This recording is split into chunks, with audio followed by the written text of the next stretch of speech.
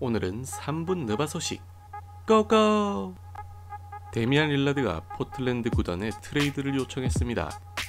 릴라드는 마이애미로 가길 원한다고 직접적으로 밝혔다고 하며 샌안토니오 구단에도 깊은 respect을 갖고 있다고 하는군요. 현재 마이애미, 브루클린, 클리퍼스, 필라델피아가 그의 영입에 관심 있는 상태라고 하며 지미 버틀러가 이미 수주 전부터 마이애미 구단 측에 이번 off season 최우선 타겟은 릴라드가 되어야 한다고 언급했다고 합니다. 마이애미는 릴라드 영입을 위해 타일러 히로, 덩컨 로빈슨, 여러 장의 드래프트 pick을 제안할 것이라고 하며 릴라드는 지미 버틀러, 뱀 아데바요, 케일럽 마틴이 마이애미에 잔류하는 것을 선호한다고 하네요.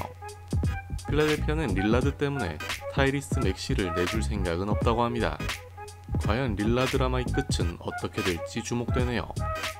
제러미 그랜트에 대한 sign and trade 루머도 있지만 그의 5년 160 million 달러 계약에는 변함이 없다고 합니다.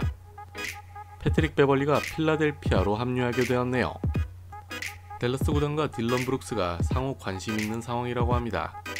브룩스는 자신이 댈러스 roster에 잘 맞는다 생각하며 특히 카이리 어빙과 잘 지낼 수 있을 거라 믿는다는군요. 그는 지금까지 휴스턴, 밀워키, 레이커스와도 미팅을 가졌었습니다. 마이애미, 클리블랜드, 샌안토니오 간의 삼각 트레이드가 진행되었는데요. 마이애미가 한 장의 2라운드 pick을 얻게 되었고 sign and trade 방식으로 맥스 스트루스를 클리블랜드로 보냈으며 샌안토니오는 세디 오스만, 라마 스티븐스 그리고 한 장의 2라운드 pick을 얻게 되었네요. 스트루스의 정확한 계약 규모는 4년 63 million 달러입니다. 클리퍼스 구단은 현재 러셀 웨스트브룩과 계속 연락 중이라고 하는군요. 빅터 웸반야마가 샌안토니오와 공식적으로 계약을 체결했는데 그를 포워드로 분류했다고 합니다. 자이언 윌리엄슨은 현재까지의 성공이 단순히 자신의 선천적인 능력 때문만은 아니라고 언급했으며 최고의 노력을 기울이고 있다고 덧붙였네요. 라멜로 볼이 5년 260 million 달러의 샬럿과 maximum 연장 계약을 체결했습니다. 브룩 로페즈가 2년 48 million 달러의 밀워키와 재계약했군요. 토마스 브라이언트가 2년 5.4 million 달러의 마이애미로 합류했습니다. 디안젤로 러셀이 2년 37 million 달러의 레이커스에 잔류하게 되었네요.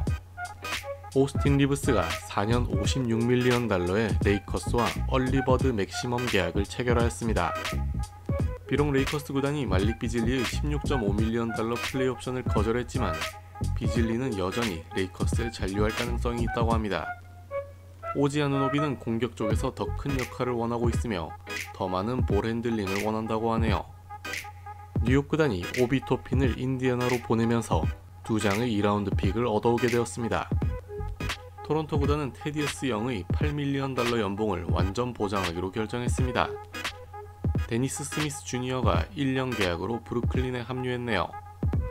FA 신분이었던 잭슨 헤이즈가 2년 계약으로 레이커스에 합류했으며 모 밤바는 레이커스 잔류를 원한다고 합니다.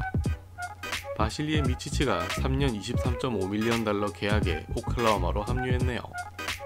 오클라호마 구단은 제레미아 로빈슨 얼의 1.9 million 달러 연봉을 완전 보장하기로 결정하였습니다.